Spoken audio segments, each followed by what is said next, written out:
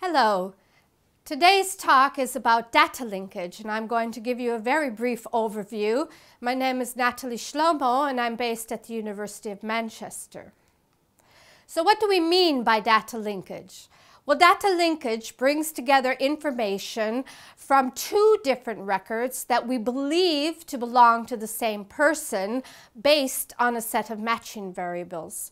Now, if the two records agree on all the matching variables, it is unlikely that they would have agreed by chance, and we can be quite assured that the link is correct and will be high. In other words, the pair will belong to the same person. If all of the matching variables disagree, the pair will not be linked, and it is unlikely that it belongs to the same person. And the problem is, of course, when we have intermediate situations where some matching variables agree and some matching variables disagree, and we need to predict whether the pair is a true match or not a true match. And often this will require some sort of clerical intervention to determine the matching status. The problem, of course, in data linkage is the presence of errors when we collect the data and where we don't have unique high quality identifiers in order to carry out the linkage. So the challenges of data linkage are the errors, the variations, the missing data on the information that we have to link two records together the differences in the way the data is captured and maintained in different databases. For example, we might have different versions of the date of birth compared to age. The dynamics of the databases, the changes over time, for example, name changes due to marriage, divorce, address changes, these are all challenges in a successful data linkage. The typical problem in strings, matching variables that are strings, we can have misspellings, transpositions, fused or split words. For example, the first and the last name may be fused together and we need to split them. Uh, missing or extra letters, the way the strings are, uh, typographical errors in the strings, extra information, missing punctuation. Typical problems also arise in numerical variables where the numbers may be transposed or there may be insertions or deletions. So data linkage typically involves three stages. The first stage is the pre-linkage. This is where we need to edit and data clean the data sets, uh, parsing uh, fused strings, standardizing the matching variables, and this requires quite a bit of work to make sure that the two databases are able to be compared uh, through their matching variables. The second stage is data, the linkage itself, the data linkage. We need to bring together uh, all possible pairs for comparisons and determining the correct matches. In other words, do they belong to the same person? Um, all possible pairs are produced within something we call blocks, which I'll mention in a few minutes. These are determined by blocking variables. And finally, the third stage is the post-linkage. This is where we need to check for residuals or pairs that were not linked. Uh, we need to determine the error rates and to make sure that when we uh, that we have error rates so that we can carry out analysis, uh, take it into account any linkage errors that we have in the data set. So what are we looking for when we need to determine the matching variables? Well, they have to be unique, they have to be available and known, accurate and stable over time. So obviously we uh, are conducting data linkage to carry out statistical research and to inform policy. And the two main methods of data linkage and their combination is deterministic exact matching and probabilistic matching. So I will be going over both of these uh, two types of data linkages. In deterministic matching, uh, this is based on an exact one-to-one -one character match of the matching variables. In probabilistic matching, uh, these are based on partial identifiers which may be available, such as names and addresses. And a, a, score is computed for each potential pair based on the individual probabilities of agreement for each matching variable. Deterministic linkage or exact matching, this is where the records in two data sets must agree exactly on the matching variables in order to conclude that they correspond to the same individual. And usually this is done when we have a high quality identifier, such as an ID number. Now, what happens here is that all matching variables have the same weight associated to them. So for example, matching on gender would carry the same weight as matching on the last name. Uh, so this will be quite different than in the probabilistic linkage. Now, even in deterministic linkage, we can incorporate some errors. For example, in fuzzy matching, this is exact matching carried out with, say, a wildcard or a set of substrings. For example, uh, a wildcard of A uh, star A, star A can be any number of words, such as banana and pajama. These are, uh, this method, for example, is used in um, search engines on the internet. Or we can uh, transform the data, such as used in a phonetic code, such as Soundex for the names, or we can truncate the uh, names, uh, for example, the first three or five letters of a name, which must uh, match exactly. So there are ways to incorporate errors in deterministic, deterministic linkage. The important thing to remember is that each uh, character has to agree exactly, and then there's no weight associated to the matching variables. In contrast, what is probabilistic data linkage? This does not require that all identifying fields match exactly in order to be able to conclude that the records belong to the same individual. Basically, we carry out a frequency analysis of the data values necessary and in order to calculate uh, for each matching variable a weight or a score. And this indicates for any pair of records how likely it is that they refer to the same entity. Now, uncommon value agreements would give stronger evidence for the linkage. Large weights will be assigned to fields that match and small weights are assigned to fields that don't match.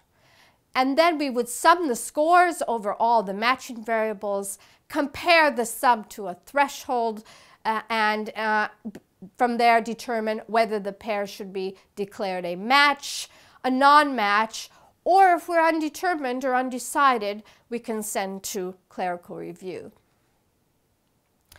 Now, in probabilistic data linkage, the method relies on calculating scores, and these are based on probabilities. This determines agreements between the matching variables between a pair of records as well as the disagreements. So either from a previous experience of record linkage on a similar application or perhaps we take a preliminary linkage exercise, produce some sort of gold standard linkage, we need to calculate how likely it is that the variables that do agree between a pair would have done so by chance or if the pair were not correctly matched. And this is compared to how likely the agreement would be in correctly matched record pairs. Now we can also use latent modeling, latent class modeling, EM algorithms to estimate population, uh, to estimate the matching probabilities without the need for a previous experience of linkage or any test data. But this is a, a topic for uh, another day. Now, probabilistic record linkage is more computational demanding and more difficult to program, but it reduces the number of overlooked matches by being able to model the inconsistencies in the data and taking them into account. So what are the criterion for good matching variables? We need to have the, uh, the, that the agreement between variables, which are more typical of correctly matched pairs, rather than those which might have occurred by chance in unrelated records. So, for example, variables that might agree by chance in unmatched record pairs are those which don't divide the population into many subclasses. For example, gender, there would be a 50% chance of having a correct match on gender, for example.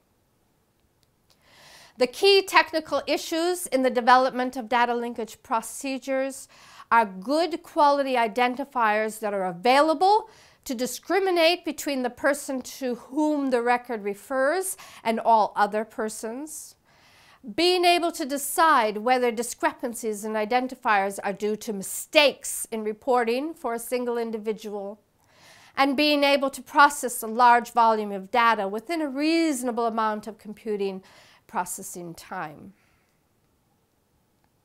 So there are three key parameters for a probabilistic data linkage, and I will be going over each one separately. The first is the quality of the data. The second, the chance that values of a matching variable will randomly agree. And finally, the third, the ultimate number of true matches that exist in the database. So not all fields for matching variables give you the same amount of information, and uncommon value agreements should show stronger evidence for linkage. To incorporate this discriminating power of the matching variables, the weights are computed as a ratio of two frequencies, which I will then translate into probabilities. The first is the number of agreements of a field in record pairs that represent the same individual.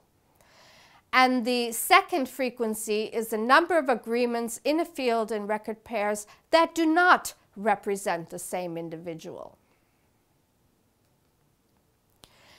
In order to determine these agreements and disagreements, we need to define something called an agreement pattern, which I've denoted here by a uh, lambda. For example, three matching variables with binary uh, comparison tests whether the pair agrees, for example, on last name or disagrees, whether the pair agrees on first name or disagrees, whether the pair agrees on street name or disagrees. So a simple agreement pattern in the case of three matching variables, for example, would be 101. The pair agrees on last name, disagrees on first name, and agrees on street name. And in fact, for three matching variables, there would be eight such comparison vectors. Now, agreement patterns might be complex and they might be based on string comparators, so not necessarily binary agree disagree. For example, we might have a uh, 0.66 uh, percent agree, uh, proportion in agreements on last name uh, due to a string comparator. Uh, now, the first parameter that I mentioned is based on the data quality. Data quality is the degree to which the information contained for a matching variable is accurate and stable over time. So data entry errors, missing data, false states, obviously this diminishes the accuracy and produces low quality uh, data. The higher quality data, the more likely we are to be able to make a correct match. So data quality, the first parameter, is reflected in one of the probabilities needed for this process.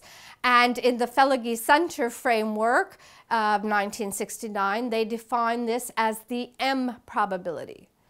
The M probability is the conditional probability that a record pair has an agreement pattern gamma given that it is a match, in other words, the same person, and we write the M probability as the conditional probability, uh, as you can see in the notation there. Now this is approximately 1 minus the error rate. The computer science literature might refer to it as the reliability.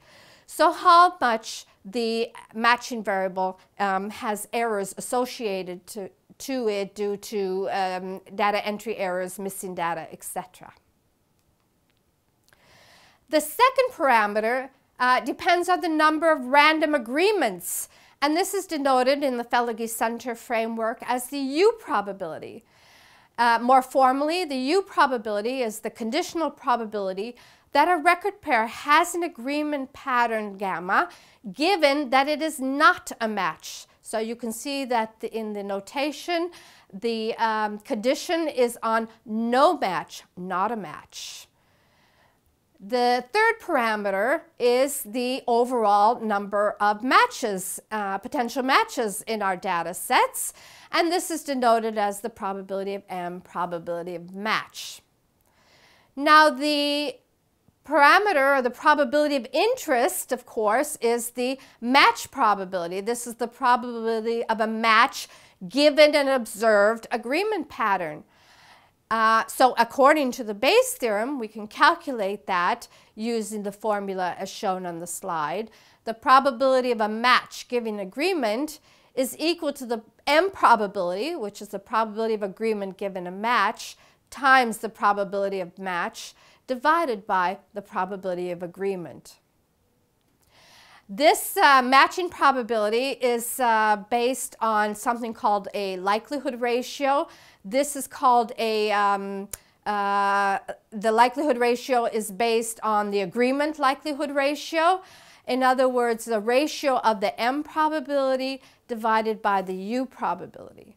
Now, Fellegi and Sunter assume conditional independence. This means that the errors associated to one particular matching variable is independent to errors associated to another matching variable, which is quite a strong assumption. Um, and in that case, the comparison vector that we defined on the previous slide can be decomposed into its separate components. So the likelihood ratio is uh, a ratio where on the numerator we have the m probabilities for each one of the matching variables separately and in the denominator, the multiplication of the u probabilities for each matching, uh, matching variable separately. So the likelihood ratio is our overall score, our test statistic. And we can order these comparison vectors by the agreement ratio, R of gamma, and choose thresholds and upper and lower cutoff values to determine the correct matches and the not correct matches. Now, it's a little hard to multiply uh, probabilities together, and in fact, the framework of Fellegi-Sunter takes the log of the likelihood ratio, uh, and in, therefore, instead of multiplying these ratios, we um, add them up. We can sum them by taking the log. It can be any log transformation, but we take the log of the m over u for the first matching variable plus the log of m over u for the second matching variable, etc., etc., in order to produce an overall score. And this is what the, in essence, what the probabilistic data linkage is doing. So here's an example. Let's assume that I have prior data, prior, prior test data, and I give you the M probabilities, the probability of agreement on a particular characteristic X, given it's a true match. Now, obviously, these are quite high. 0.9 if it's first name, last name, age.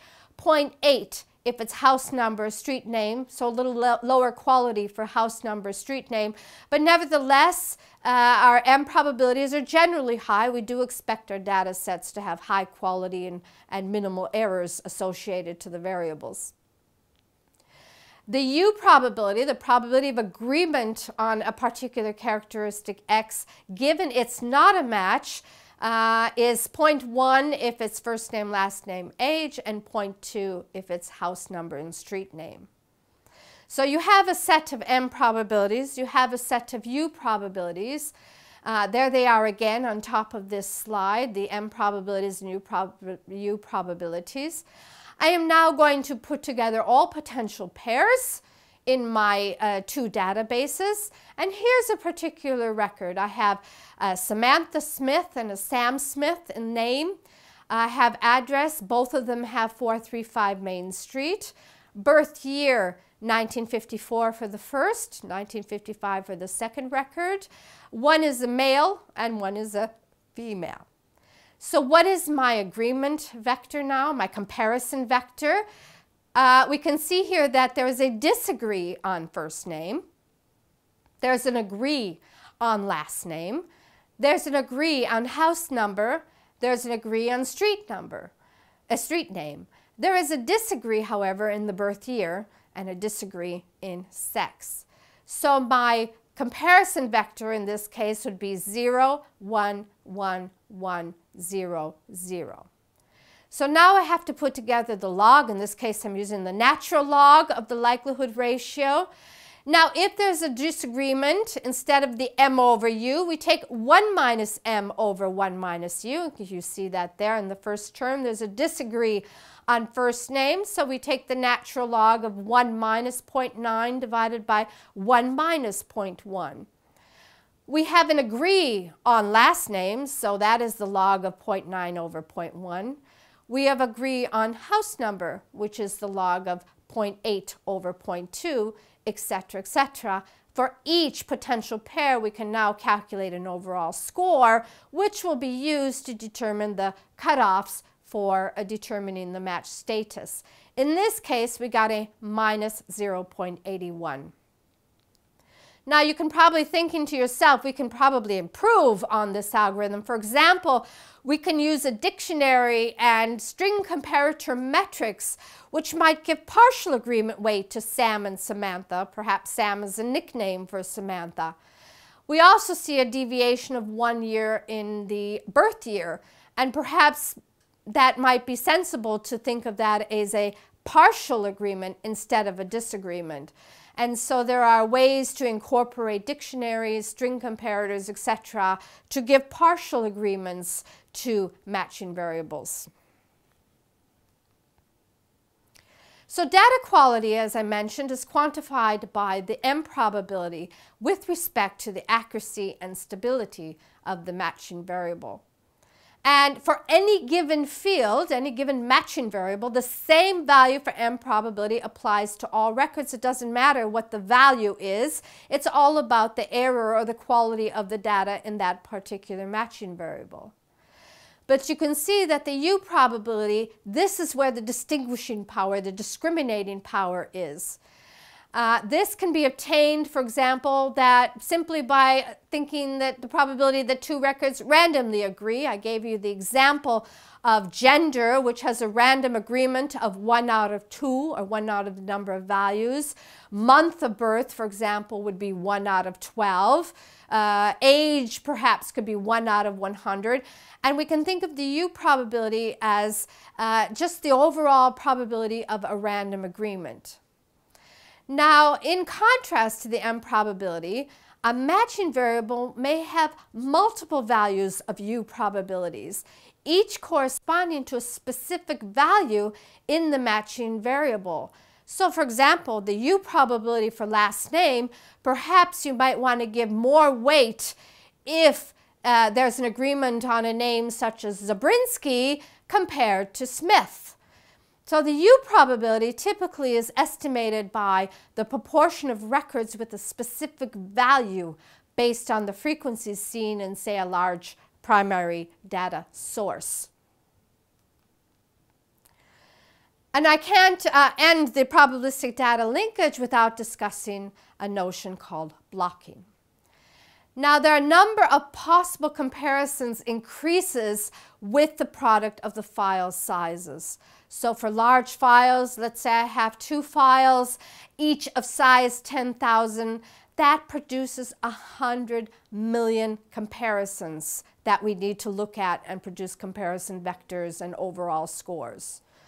So what we do in data linkage is that we restrict the comparisons to blocks of data where one or more variables need to match exactly. So now you can see we're introducing uh, exact matching into the probabilistic matching framework. And the idea is to uh, institute some uh, exact matching on a blocking variable, which are likely to re refer to the same person and therefore we reduce the amount of time that we need searching through the uh, files, through searching through the pairs. So we're utilizing a deterministic approach to help us with the probabilistic method of record linkage. And uh, we can block sequentially. So in a typical framework of uh, data linkage, which would be a one-to-one -one match, uh, let's say we have a post-enumeration survey that needs to be matched back to the census file. Uh, typically that's done sequentially and iteratively using different variables for the blocks.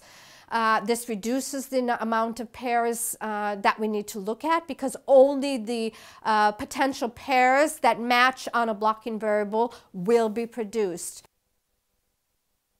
Restrictive uh, deterministic matching, for example, we could block on postcode and surname, carry out the data linkage, carry out the clerical review on the set of uh, designated potential matches, and then we put our matched data set aside and we proceed through another iteration through the residuals of the two files that were not matched, perhaps with another blocking criteria such as year of birth. And this is the way we carry out the linkage using an iterative process, interchanging blocking variables and matching variables. So once we have our overall scores, we need to determine thresholds. And these thresholds determine the match status of whether we will determine them as a true match, not a true match, or we're not decided and we need to send to clerical review. So as in classic decision theory and statistics, these decisions or thresholds are determined by minimizing two errors the type 1 error and the type 2 error. The type 1 error in the framework of the Fellegi-Sunter record linkage is the error of linking unmatched records. So we put together a pair, we said these are a match, we put them in the match data set. These are now ready, uh, the match data set ready for analysis, but we have errors. The type 1 error, we have uh, pairs that should not have been matched.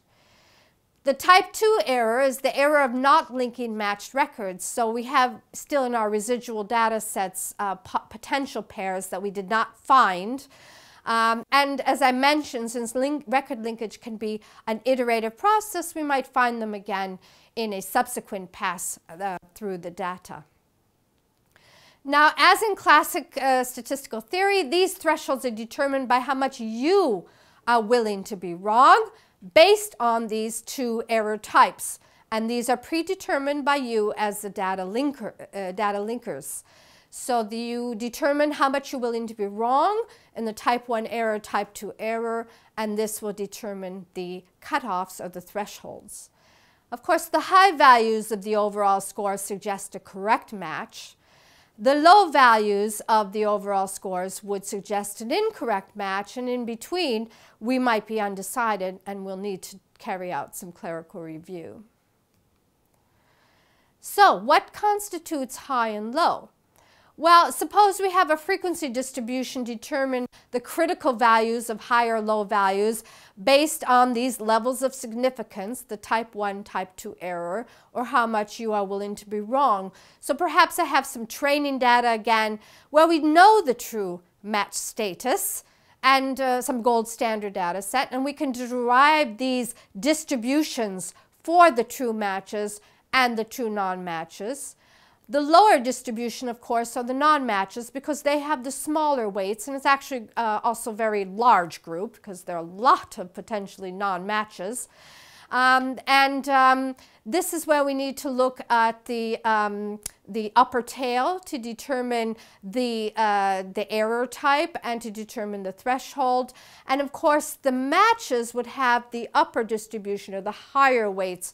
So in this slide uh, is a figure representing these uh, distributions of the non-matches and matches, assuming that I was able to make them into a nice normal bell-shaped curves. So you see there a mixture. On the lower end, the small uh, overall scores, you see those are the non-matches. And on the right-hand side, where the scores are high, uh, you see the matches. And you can see, of course, that the curve is quite large for the non-matches. There are quite a few more non-matches than there are matches. And the idea, of course, is to choose thresholds based on your type 1, type 2 errors. So we're looking for two thresholds, a score which I denote by W plus, above which we will automatically classify the pair as a correct match, and a W minus, below which we automatically classify the pair as an incorrect match. And in between the W minus and W plus, we would need to carry out a clerical review. So I'm going to now zoom into this figure uh, in the middle there, looking at that exactly where that mixture is occurring between the non-matches and the um, true matches in the next slide. So the decision rule is based on three types of pairs. Those that we believe to be a correct match, those that are uh, we believe not to be a correct match would be on the left-hand side. And in the middle where that mixture is occurring, you can see there the uh, tails of the matches and the non-matches coming in from different directions as I zoomed into the mixture part. And we can look at the uh, preset our type 1 and type 2 errors. Uh, on the non-matches, the upper tail would be the type 1 error, as you can see that's pointed out uh, with the error. And on the coming from the matches on the lower end of the tail of the matches is the type 2 error. And these are preset, right? You are the data linker. You preset how much you are willing to be wrong. And this is what drives our um, cutoff thresholds, as you can see by the vertical lines in the mixture. So anything above the uh, W plus is considered a match. Everything below the W minus is considered the non-match. And you can see in the figure what the errors are in each of these decisions based on the type 1, type 2 error. And all of those in the middle between W minus and W plus will be sent off to clerical review and manually reviewed to determine their match status. So after record linkage, uh, once we've carried out our um, decision rule, we should check for errors. We check, uh, carry out perhaps logical checks in the data for evaluation using other uh, key variables, not necessarily those that are matching variables. So for example, if you're matching um, uh, death records with a uh, hospital discharges, you would want to make sure that you don't have any hospital discharges after a death Lots of ways to use logical uh, statistical data editing and logical checks to make sure that your uh, data sets are, um, have little errors and no errors in them. And obviously the poor quality data, we can get errors. And what is recommended, of course, on those pairs that are declared a match, even if you're doing an exact uh, deterministic matching, you have your match data set. This is what you're going to use for your uh, analysis uh, which you know could be for informing policy. So very important to understand if there are any errors in that linked data set. Carry out a small random sample. Check for the accuracy in the matching status, particularly for those that might be, have, might be close to the uh, threshold cutoff values. And on those pairs that were not matched, also carry out a small random sample, check for the accuracy in the match status. And of course, these errors uh, can be used to compensate for linkage errors when you analyze your linked data using classical measurement error uh, framework, measurement error um, models. Um, but again, this would be a subject for another talk. So just to look at the, uh, what our decision, our dispersion matrix would look like in any decision theory in classics, uh, classical uh, statistics, we would have our uh, columns defined as the true status, the null hypotheses versus the alternative hypotheses. In this case, the column of the null hypotheses is the non-matches. They're not matched. And the alternative hypotheses are the matches. On the rows, we have our decision. We had a test statistic, we had an overall score based on the likelihood ratio, uh, and based on our criteria, our thresholds, we determined and decided whether they were a not linked pair. We did not put them together as matches. In other words, we failed to reject the null hypotheses versus we linked the pairs, right? We decided they are a match and rejected the null hypotheses. And now on the diagonal of our decision uh, matrix, you can see that we made the correct uh, choice. So if we did not link the pairs and indeed there were not matches, great, we uh, made the right choice, not linked non-matches. This is also known, especially in epidemiology studies, as the true negative.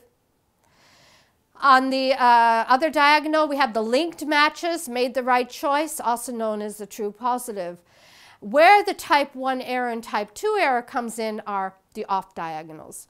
So if the true status was a non-match and we linked them together, as I previously mentioned, this is the type 1 error. It's also known as the false positives. We linked non-matches. On the other off diagonal, we have not linked uh, matches. This is the type 2 error as I previously defined, also knows, known as the false negatives. Now what you can see here outside of the uh, matrix is uh, various uh, quality or evaluation uh, parameters that should be calculated by data linkers and delivered to um, researchers. Uh, for example, the proportion of the false positives, the proportion of the false negatives. These are very important criteria to understand uh, the quality of our linkage process. Um, the uh, 1 minus the false positive rate is also known as a specificity. Uh, and the sensitivity, or in computer language, uh, computer, computer science literature is also known as recall. Um, and also in the computer science literature, you find another measure which is called precision. Now notice that precision is actually the number of true positives out of the totally, uh, total linked pairs. So in the computer science literature, you'll find recall and precision in order to evaluate your uh, linkage process.